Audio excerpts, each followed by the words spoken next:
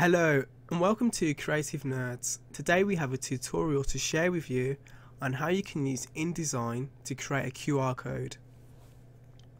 So we've created this poster for Taekwondo training using InDesign which is just a mock-up template where we want to add in a QR code. So in order to add in a QR code it's pretty simple. So you want to start off by selecting the rectangle frame tool. So we're going to select that and just draw out a nice rectangle underneath anywhere within the design.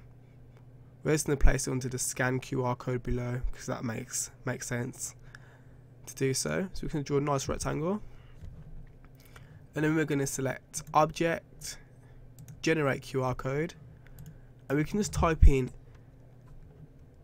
a web hyperlink, plain text, email message, business card. There's various different options that you can type in. We're going to use a web hyperlink and we're just going to put in any website. So, for instance, creativenerds.co.uk and select the OK button. Before we do that, we can even change the colour of what we want the QR code to look like. So if we want to be in context with the rest of our design, we can do it in a red, for instance, and then select the OK button.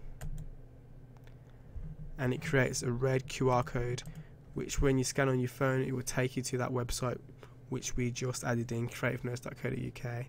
I hope this has been a handy tutorial and a great quick trick for showing you how to create QR codes and incorporate into your designs. Thanks for watching and stay tuned to Creative Nerds for further tutorials.